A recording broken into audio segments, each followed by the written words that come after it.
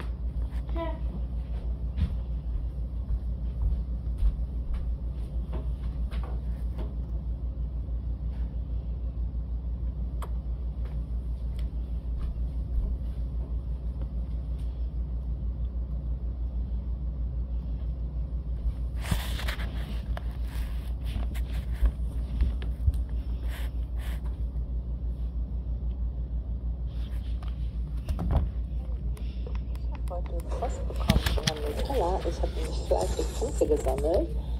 Und dann habe ich eine Brotdose bekommen mit super tollen Inhalt wie ein Mini-Nutella-Glas, Nutella to go. Hier kann man nochmal sehen, wie die Brotdosen aussahen. Ich habe mir die weiße ausgesucht, Nutella Biscuit gab es noch und Nutella Be Ready. Mein Highlight ist natürlich die Brotdose mit meinem Namen drauf. Mega cool. Danke Nutella und einen guten Appetit.